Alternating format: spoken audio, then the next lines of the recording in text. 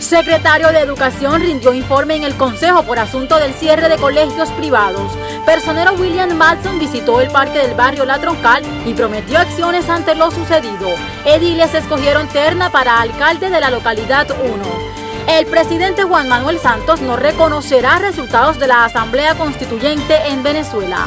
77 pilotos de Avianca regresaron a sus labores después de casi un mes de haber iniciado el paro. Aquí están los titulares en CNC Noticias.